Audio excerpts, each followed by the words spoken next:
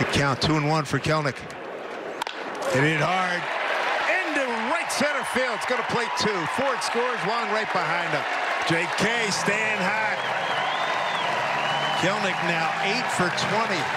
Four homers, six RBI. Mariners now with a 4-0 lead.